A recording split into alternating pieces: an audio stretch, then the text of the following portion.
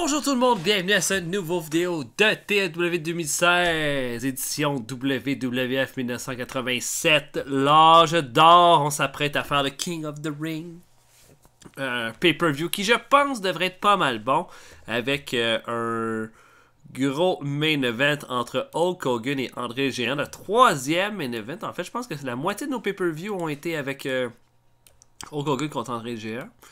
Euh, on va voir comment ça va se, se profiler pour ce combat-là. Euh, donc euh, voilà, je pense qu'on a quand même une bonne carte. Les rivalités ont bien été montées, puis on était en mesure d'amener certains nouveaux lutteurs, je trouve, dans le roster. Je pense à Lanny Poffo, Tom Zank. On aurait été à spotter tous les. à insérer les Wild Samoans et tout dans le combat. On va avoir un 4-way tag team match. Je pense que ça va être un bon combat.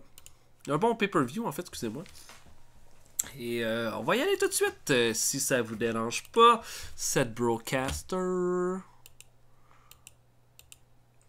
On va y aller avec Comcast. Euh, incident avec Ted DiBiase. Ted DiBiase a éliminé le mood backstage alors en faisant des beaux petits dessins de ses collègues. Excellent, Ted. J'adore ça. Euh, Allons-y maintenant. Bon, pour un medal. Euh, un vétéran comme Frenchy Martin, peut-être pour aider un jeune lutteur. Je sais pas, là, je pense, mettons, à Jeff Jarrett. Non. Ok, donc. euh, si on se fait un récapitulatif pour le show. On va avoir Hulk contre euh, André Géant pour le titre mondial. Tournoi du King of the Ring, Don Morocco va affronter Tito Santana et King Kong Bundy va affronter Ricky le Dragon Steamboat. Coco Beware va affronter Adrian Adonis. On va avoir euh, la, la, la, la, la, la, la.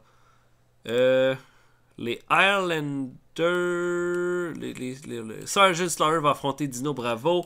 Les champions par équipe, les British Bulldogs, vont affronter le Dream Team. Ted DiBiase va affronter euh, Roddy Piper. Kamala va affronter Honky Tonk Man.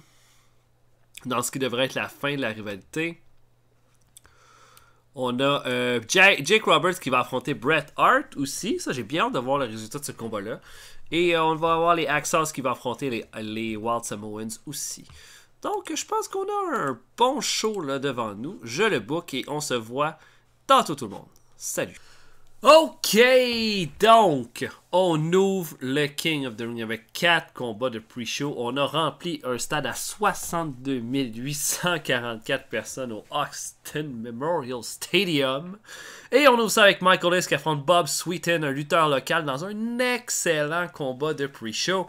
Michael Hayes, on va faire de quoi avec lui? Tous les lutteurs que j'ai mis en pre-show, c'est des lutteurs qu'on va leur trouver un spot pour le prochain pay-per-view qui va être SummerSlam. Donc, euh, euh, Michael Hayes affronte Bob Sweeten. Euh, le bat avec un DDT à 7 minutes 35. Une belle performance de C pour Michael Hayes là-dedans. Très bon combat. Et puis, euh, voilà. On va trouver de quoi pour Michael Hayes.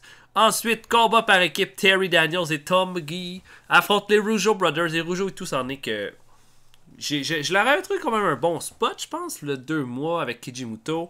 Puis euh, là, je pense qu'ils se sont plus associés avec le Communist Party. Mais on va leur trouver quelque chose au Rougeau Brothers pour le pro- prochain mois. Là, ils font, euh, ils affrontent Daniels, un lutteur local, et notre bon vieux Tom McGee. Ils vont le battre à 7 minutes 37 avec la bombe de Rougeau. Un bon petit combat de thé. Ensuite, les Young Stallions vont affronter Danny Spivey et Jason the Terrible. Donc, les Young Stallions vont affronter deux gros mecs. Euh, les Young Stallions vont l'emporter avec un double dropkick sur Spivey pour la victoire. Euh, et finalement, dernier combat de pre-show, Billy Jack Haynes va affronter Mick Foley et va le faire euh, abandonner avec son full Nelson dans un combat de C. Quand même assez fou de penser que c'est Michael Hayes, un lower mid-carder, qui nous a donné notre meilleur combat de pre-show dans ce gala-là. Et on va ouvrir ça immédiatement avec un combat entre Ricky Steamboat et King Kong Bundy. Un combat de 10 minutes 39. Où est-ce que, bon, c'est back and forth. Bundy est extrêmement over. On le sait depuis qu'on a commencé la partie. Euh, a été, personne n'a été capable de faire le pin sur lui. Et ça va se finir de la même façon. dans le sens que Ricky Steamboat va faire un crossbody à King Kong Body en bas du ring et va remonter avant, avant la fin du décompte extérieur. C'est Ricky Steamboat qui va l'emporter par 40 à 10 minutes 39 et qui s'en va en finale. Euh, une grosse performance. Donc, euh, euh, un bon B pour ce combat-là. Oui, ça aurait pu être plus si le combat avait été plus long, blablabla. Mais pour le purpose du combat, c'est parfait ça. Donc, on y va comme ça. On a ensuite un match entre Superstar Billy Graham et Hardy Race. Un bon combat, meilleur que je pensais. J'aurais pensé un B-. Finalement, c'est un B pour ce combat-là avec Hardy Race qui va l'emporter clean à 9 minutes 39 avec son power driver. Hardy Race, honnêtement, on va le garder fort parce que il est encore tellement bon pour vrai. Il faut s'en servir. Il faut s'en servir. Puis euh, là, dans ce cas-là, je pense que la rivalité contre le Sergeant Slaughter a servi à élever Slaughter. Mais Hardy Race est encore capable. Je pourrais le mettre main event d'un pay-per-view demain, Hardy Race, puis j'aurais encore un bon résultat. Donc, euh, il va l'emporter sur Billy Graham dans, à 9 minutes 39 avec son Power Driver. On a ensuite un combat de Sergeant Star et Dino Bravo. Un combat de B-, bon match quand même. Et le Sergeant Slaughter va l'emporter avec le Cobra Clutch à 13 minutes 44. Bon petit combat. Euh, Slaughter, ben, je pense qu'il on a tellement de potentiel pour Sergeant Slaughter. J'hésitais entre qui je faisais gagner. C'est un des rares combats de ce soir que j'hésitais par rapport au gagnant. Mais je pense que Slaughter a le potentiel de nous amener un petit peu plus loin que Bravo dans la carte. Ça veut pas dire que les deux vont pas avoir des pushs conséquents par la suite des choses, mais Slaughter, j'ai plus des choses de prévues pour lui que pour Bravo. Donc c'est lui qui va l'emporter dans un combat de B-. Bobby Heenan va être avec André le géant. On va se préparer pour leur combat contre Hulk Hogan. Heenan va dire à Hogan que euh, il, a, franchi la ligne pas une fois, pas deux fois. Ce soir, il va franchir la ligne trois fois pour essayer de prendre le titre André Géant. Combien de fois ça va y prendre une chance au titre pour qu'il comprenne que c'est pas du tout. Euh, quoi dire Comment le dire Qu'il va comprendre que c'est pas du tout pour lui cette ceinture-là tant qu'André Géant va la porter autour de la terre. Il va l'humilier une troisième fois, puis après ça, ça va être terminé. Il va tasser Okomenia, la mettre en petite boule, puis l'acheter dans une poubelle pour que ça se termine. Une excellente euh, promo de A+, évidemment, sans surprise de la part de Inon et euh, d'André Géant. On a un combat pour le King of the Ring, Antito Santana et le magnifique Morocco. Encore une fois, un bon combat de B. Et euh, alors que Santana va être tout près de la victoire, Rick Martel. Euh, non, attendez un peu, là, je, vais, reprendre mon affaire. Alors que l'arbitre est down, euh, Magnifique Morocco va essayer de venir. d'aller chercher une chaise pour attaquer Santana. sauf que Rick Martel va arriver, va enlever la chaise de Morocco, va essayer de frapper Morocco, mais Morocco va se tasser, puis Santana va recevoir le chair shot. Morocco va lancer Martel en bas du ring, et Morocco va faire le pin sur Santana pour la victoire et pour avancer dans le tournoi du King of the Ring. Il va affronter Ricky Steamboat en finale ce soir. Euh, bon combat entre les deux lutteurs. 11 minutes 6, c'est un bon petit match. Euh, voilà, un bon B. Et là, euh, après combat, Martel essaie d'aider Santana. Mais Santana est un peu fâché, là, s'en va, a l'air vraiment pas content. Et c'est comme ça qu'on va terminer ce segment-ci.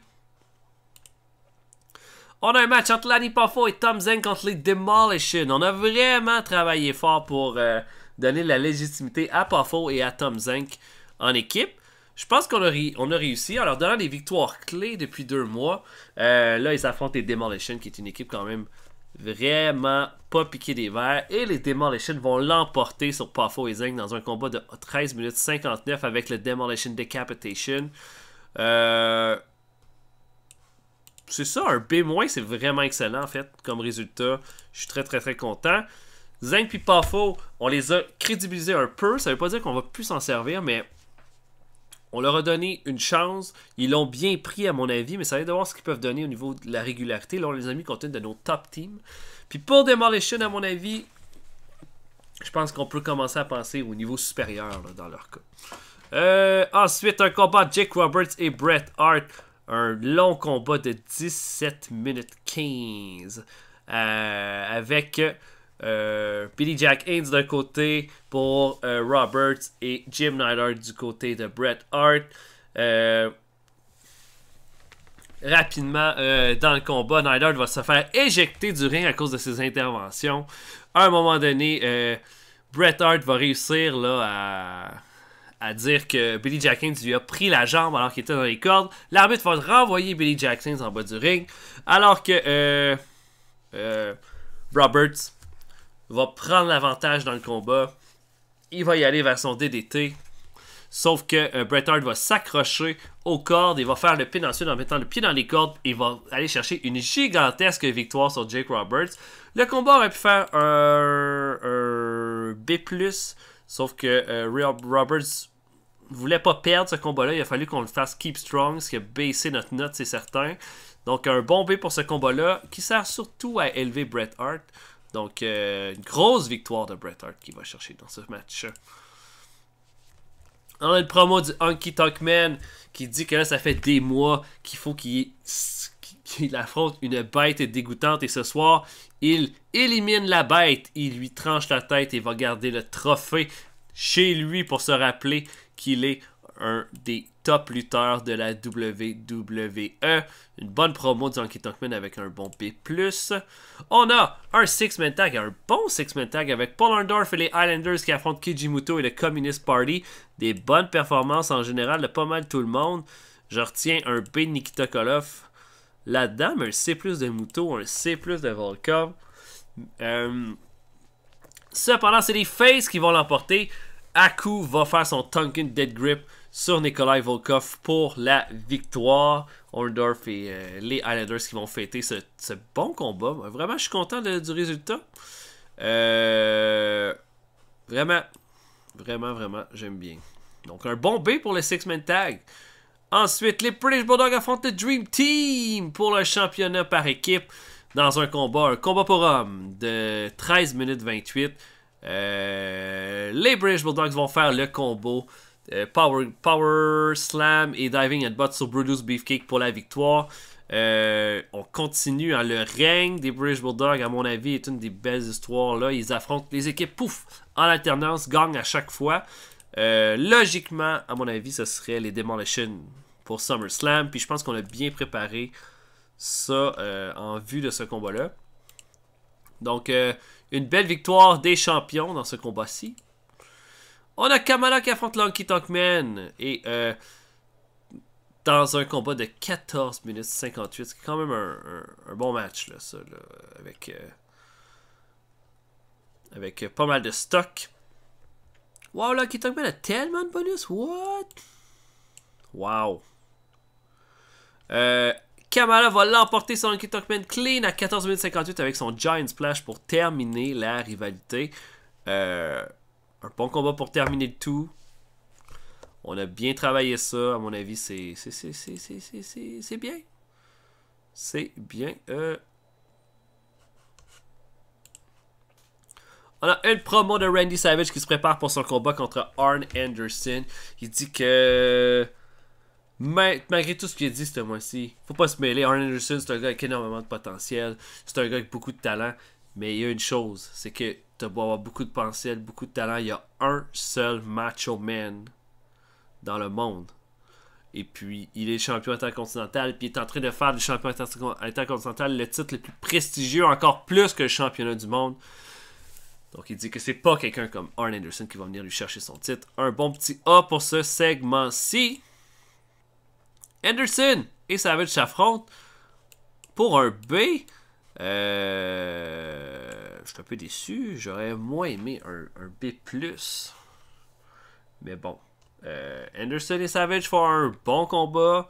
Avec Savage qui va l'emporter avec son euh, Drop à 18 minutes 48. Clean sur Arn Anderson. Encore une fois, une autre défense de titre. Euh, de qualité de, du Macho Man. C'est sûr qu'on n'avait pas fait de storyline pour cette rivalité-là. Mais je suis quand même déçu de simplement un B parce que j'ai même pas eu de B encore. Les Axos affrontent les Watson pour un autre B. Ouais, ça, je m'attendais pas à un B tout. Et euh, je pense que les, styles doivent bien matcher pour ce combat-là. Les Axos vont l'emporter rapidement à 8 minutes 33 avec un running close line de Duggan sur Alpha pour la victoire. Pas assez de selling. Mais euh, voilà. Et ça, je m'attendais pas à une aussi bonne note. Mais juste des B, j'ai juste des B, je connais. Roddy Piper affrontait DiBiase, puis j'ai encore un B, alors que Piper fait un A, puis DiBiase fait un B+. Là, l'affaire, c'est que Piper voulait pas perdre contre DiBiase, mais là, euh, moi, j'ai pas donné le choix.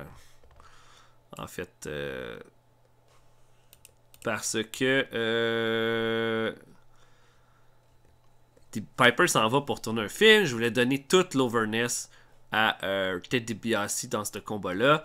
DiBiase va l'emporter alors qu'il va frapper euh, Piper avec un, une chaîne qui va entourer autour de sa main pour la victoire.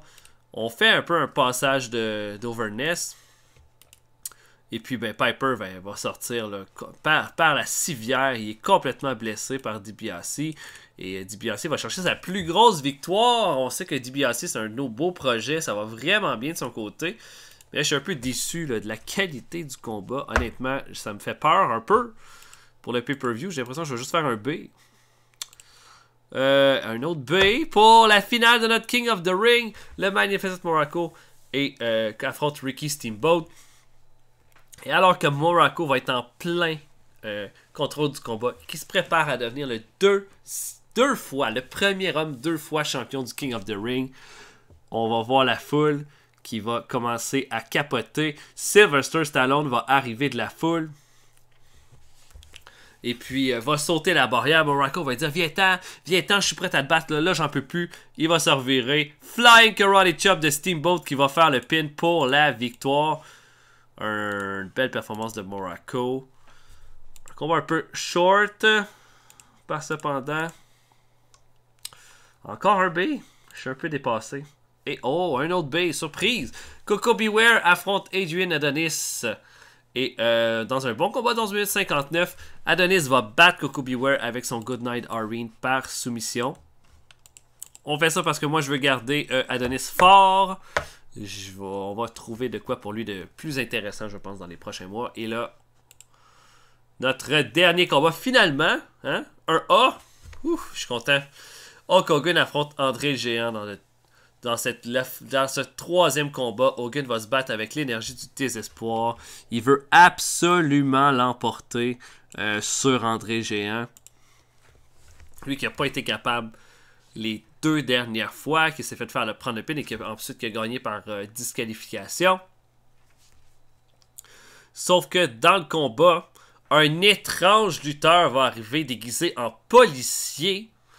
Et euh, alors que Hogan se prépare pour faire son leg drop, il va arriver, il va donner un coup de matraque derrière la tête de Hogan alors que l'arbitre ne voyait pas.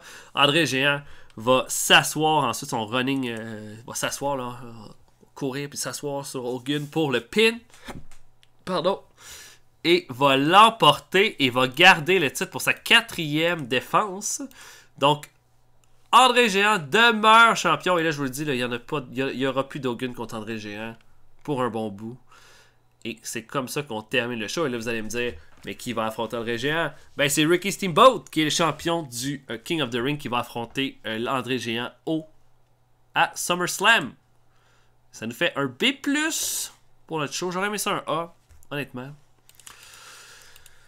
Mais euh, il y avait beaucoup de B, beaucoup de B dans ce show-là qui euh, ça résume bien ce qui s'est passé. Bon, moi, on va faire un speech. Bon, moi j'ai beaucoup aimé Hardy Race qui a fait un B de performance.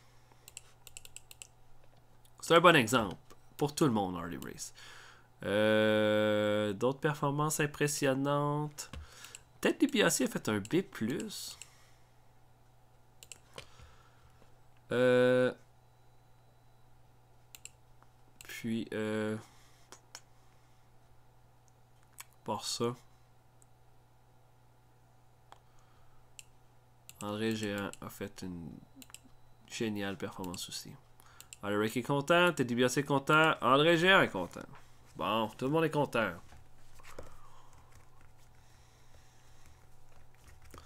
Mm, mm, mm,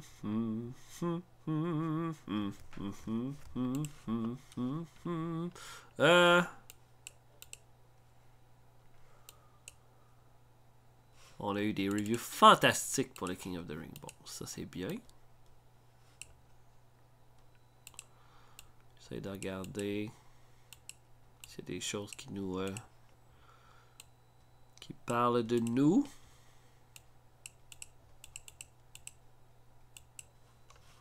Pas vrai dans l'air. Ok. Bon. Opinion. Harley dit que Dynamite est trop à il pourrait blesser quelqu'un. Bon, ok. Buy rate 0.71. Brad Renegans reçoit une offre. Il reste juste un mois au contrat de Brad Renegans. Euh, Pedro Morales va s'en aller. Je pense, lui, je pense qu'il va s'en aller. L'assassin pourrait avoir un renouvellement de contrat. Johnny Valiant et le Iron Chic. Écoutez, le seul que je re là-dedans, je pense que c'est euh, le Iron Chic. Les autres, je m'en fous un peu.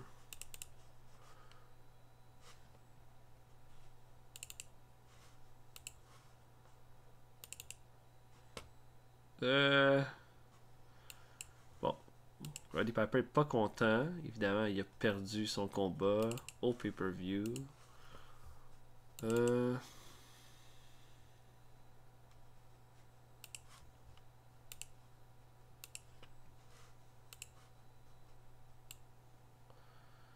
Ok, Orange veut juste travailler dans les Major TV shows et plus. Tiens, mon ami. L'assassin, est-ce qu'on le signerait? Coûte pas cher. Puis il fait sa job. C'est pas un mauvais brawler. Donc, tiens, moi ça me dérange pas de le signer non plus. Pedro Morales, j'ai pas l'intention de le signer. Brad Renegan, j'ai pas l'intention de le signer. Puis Johnny Valiant, j'ai aucune utilité vraiment pour lui en tant que manager de, de Valentine et Brutus Beefcake. Et de Domination Smash. Donc euh, voilà. Voilà, on arrête ça là. On va faire un auto-push pour tout le monde. Euh, je sais pas ce qu'il y a de spécial. DBRC devenu main eventer. Par ça, Dino Bravo a monté.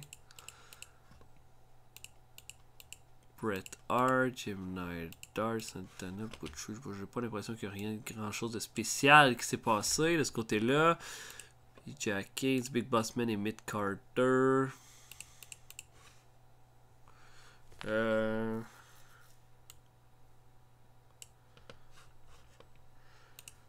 Ron Simmons et Lower Mid Carter. Sam Houston et Opener. Jeff Jarrett a monté à Opener, ouais, c'est ça. Kejimuto a baissé. Hey oh. Aïe aïe aïe. Ok.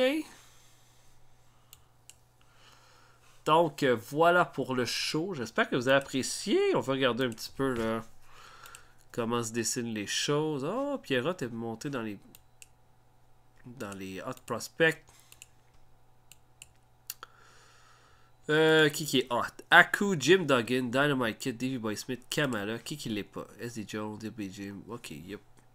Dérange pas trop ça. Euh, ok. Donc voilà pour ça. Et j'espère que vous avez apprécié. Euh, likez la vidéo. Hey, on a fait un profit de 2 millions de dollars. C'est moins que le mois d'avant, mais c'est quand même notre deuxième meilleur mois en termes de revenus. Donc, euh, on est, je suis bien content. Euh, j'espère que vous avez apprécié. Likez la vidéo. laissez des commentaires. Et puis, passez une excellente journée. Tout le monde. J'espère vous voir pour une prochaine vidéo. Salut tout le monde.